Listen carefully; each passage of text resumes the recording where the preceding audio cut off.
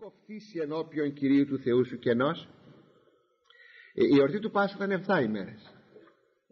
Και της Πεντηκοστής 7 ημέρες. Και της Κοινοπηγίας 7 ημέρες. Υπήρχαν κι άλλες εορτές. Αλλά αυτές ήταν οι κύριες εορτές. Όπως η εορτή ήταν και η Νουμινία η πρώτη του μηνός. Ε, και λοιπά. Ήταν και το Σάββατο. Επιπλέον ήταν εορτή. Κάθε 7 μέρες η 7η μέρα ήταν εορτή αυτές όμως ήταν οι πολύ μεγάλες γιορτές που όφυλαν οι Εβραίοι να έρθουν από την επαρχία στην πόλη στην Ιερουσαλήμ να προσφέρουν τη θυσία τους και τα λοιπά.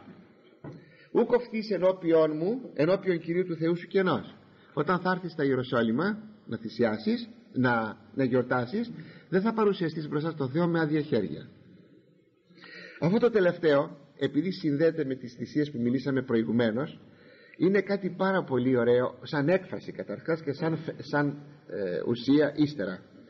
Δεν θα παρουσιαστεί στο ναό με άδεια χέρια. Αυτό αγαπητοί μου ισχύει παντού και πάντοτε. Έτσι και στο ναό του Θεού όταν θα μπούμε στην εκκλησία. Θα ανάψουμε το κερί μας. Θα πάμε το προσφορό μας. Το κρασί μας. Ό,τι είναι. Δηλαδή δεν θα εμφανιστούμε μπροστά στο Θεό με άδεια χέρια είναι πολύ ωραίο. Να το σχολιάσω πιο πολύ. Δεν χρειάζεται. Το καταλαβαίνετε. Θα μπορούσε κανείς πολλά πάνω σε αυτό να πει αλλά μένω με αυτήν την ωραιοτά την έκφραση του δεν θα παρουσιαστείς ενώπιον του Κυρίου σου με άδεια χέρια όπως και δεν θα πας και σε ένα σπίτι ή φιλικό ή συγγενικό με άδεια χέρια.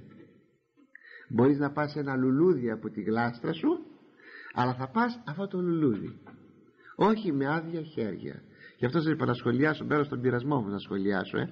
αγαπητοί μου προσέξατε αυτό το σημείο είναι πολύ σπουδαίο πολύ σπουδαίο να μην πάμε με κουνιστά χέρια. Κάποτε άμα πηγαίνω σε κανένα σπίτι και πήγα εκτάκτος ψάχνω την τσάντα μου. Ή με το μυαλό μου στην ώρα μιλάω. Αν έχω τίποτα μέσα στην τσάντα μου να δώσω. Έστω μια εικονίτσα, μια κάρτα ένα κάτι.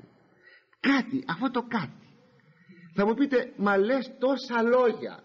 Αυτά δεν είναι αρκετά. Όχι.